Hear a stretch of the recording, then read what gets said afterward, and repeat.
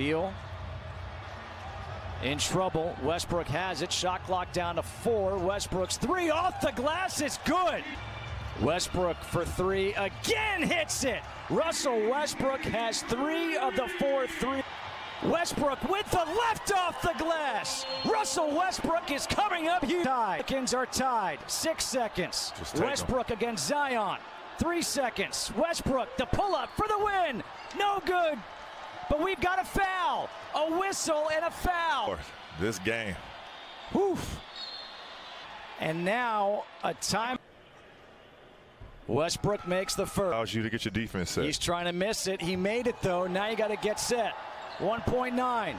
Johnson to inbounds.